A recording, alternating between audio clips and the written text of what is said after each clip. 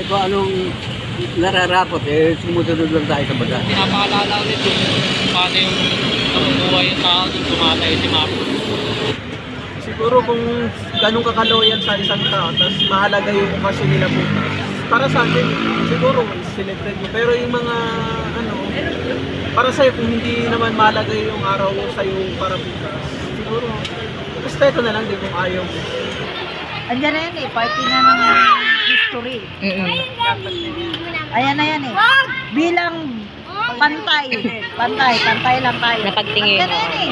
Pantay na pagtingin. Hindi mo na pwedeng mawa, hindi mo na yan maaalis. Ano baka sabihin, sino ka ba para ipatanggal yan?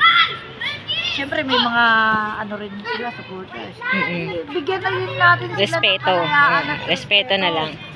Pero yung gusto rin sana namin din, na magkaroon kami ng kalayaan na i-broadcast kung sino ang gusto namin, dapat ibigay din sa amin.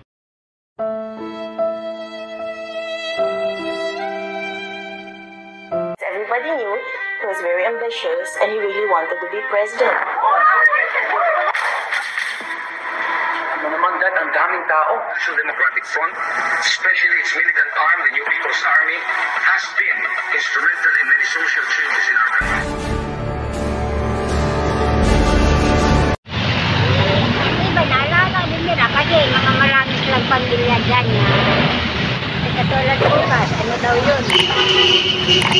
Kala ko nga dito may. Yun lang sa iyo. Uh, ayun, hintay ko nga rin eh. Kasi sabi, meron na magkikita-kita dyan yung mga taga ano eh. Mga makaleni. Ngayon, wala eh. Sabi nga, hindi daw dito yun. Ah, sa ibang lugar. Dapat nga yan, mahirap magsalita dyan. Eh, kung anong nararapat, eh, sumusunod lang tayo sa batas. Yun, oh, ayun, oh, malalalim talaga. Kami inugot yung pick up.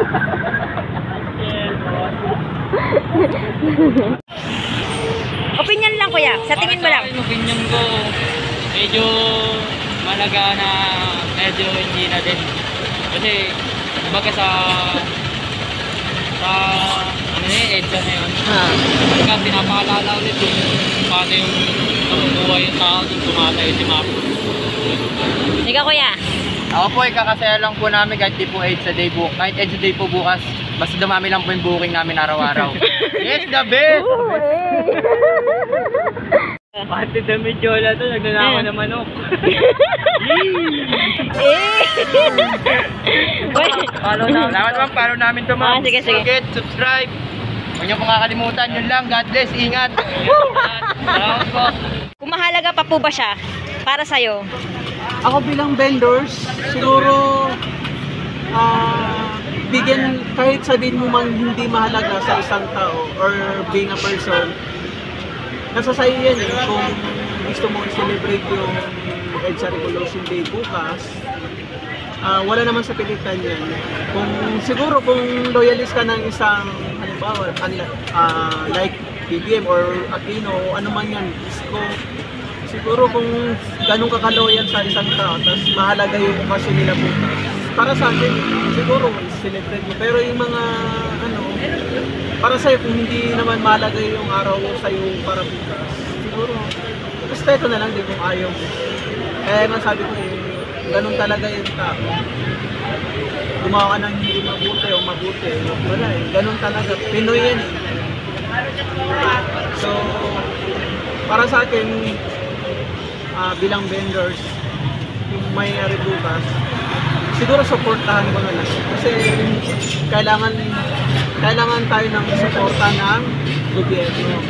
Yung lalo na yung doong nakaupo. Kasi siya yung nakalal na, ano, eh, na pangulo. So, yun nga.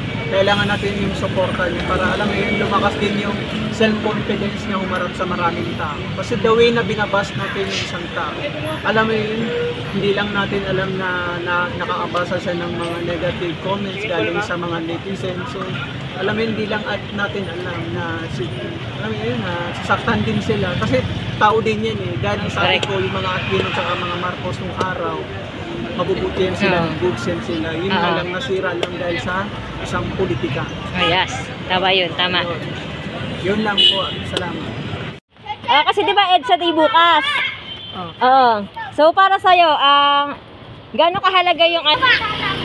Kung ako ha, andyan na yan eh, party na ng history. Mm-mm. Ayan na yan eh. Bilang pantay, pantay, pantay lang tayo. Napagtingin, Andyan na yan eh.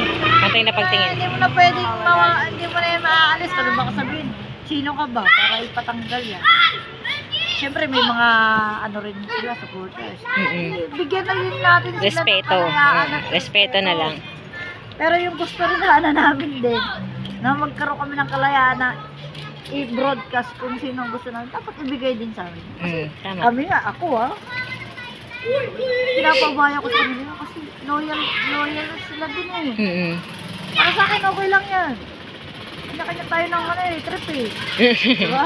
Kanya-kanya tayo ng manok. At saka hindi naman kinokondima ni Pangulong BBM, di ba?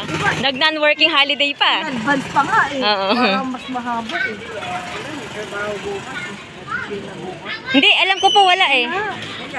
Long weekend po siya, long weekend. Long weekend. Pero depende po sa ano, depende po sa company niyo po, yung pag private sector. Kaya nga nagulat ako eh. Bakit nagkaganon? Eh, dineclare na walang pasok eh. Depende sa ano yun. Sa Private sector po. Pero kung meron man sila, ano yun, double pay po yun kasi holiday po eh. long weekend ng tawag. Oo. Depende pa rin po sa company nila. Para hindi naman sila masyadong inis sa mga moto. Ano na lang, bigay na natin. Celebration nila yun. Nakapart na lang history din. Mm-mm. Karapatan din nila yun kasi love nila yun. Hmm. Ganon din tayo. Bigyan din nila tayo ng karapatan kung ano rin ang gusto natin bilang loyalist ng mga Marcos. Ano lang, bigayan na kumbaga. Yes. So, tayo, di tayo nagdamot ha. Ayun guys, oh, ngayon, ngayon yung 37th anniversary ng EDSA People Power Revolution. So narinig natin yung opinion ng mga na-interview natin. Ah, para para sa akin, ah, dapat pa rin natin siyang i-celebrate at at saka para sa akin mahalaga pa din siya na kailangang i-acknowledge ng mga Pilipino. Kasi pa- part pa rin siya ng history eh. Kumbaga, ito yung yung EDSA kasi ito yung nagpapaalala sa atin ng ah, yung pagkakaroon natin ng demokrasya dito sa ating bansa.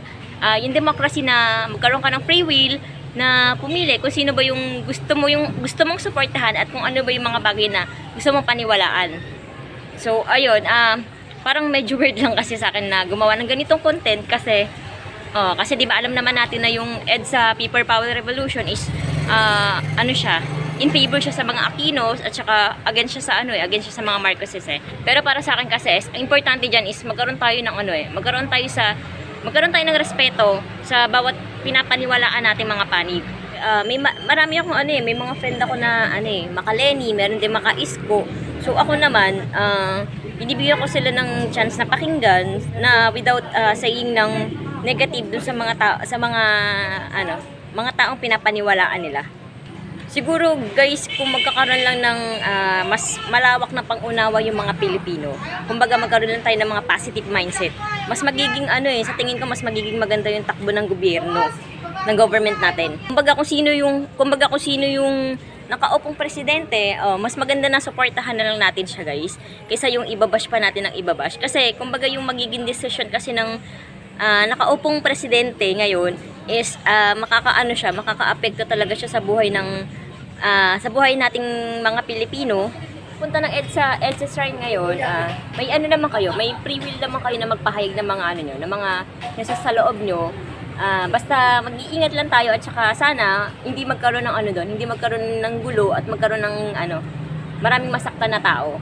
So ayun guys, end na natin yung video dito. Ah, please like, share, and subscribe and click the notification bell for more updates. Hanggang sa susunod na ano natin, ah, My Opinion Matters. Bye!